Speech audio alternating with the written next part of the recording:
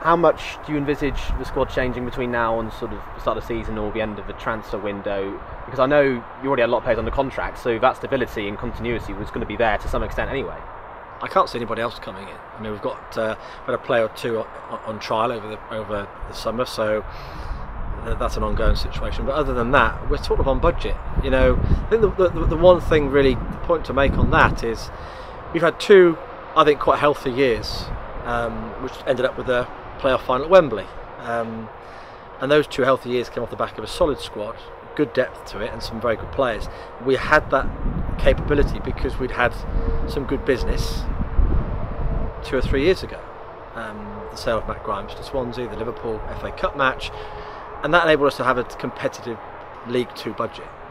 Um, had we not sold Ollie, we would have crashed back to our basic uh, budget, and which would have put us firmly in the sort of bottom third budget for the league. And but what we've been able to do now is we've been able to maintain our budget over the next four years. So it's, it's the first time I think since I've been here we've had that level of health over that length of time. But what it doesn't mean is we're going to truck all that money into this season to try to get promoted. We're not going to do that. All we're doing is standing still. So unless things change, there will be no more players coming in. Um, the budget is been spent wisely and uh, appropriately, but uh, you know the the the, the, uh, fee we receive for Ollie will get spread over the next four years.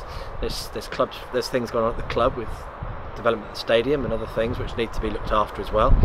And but what we've done is we've maintained a health, but things won't change. And actually, you know, as you said, we've, we've had most players on contract already, and as it stands, we will be where we are now in, in a week's time and probably at the end of August too.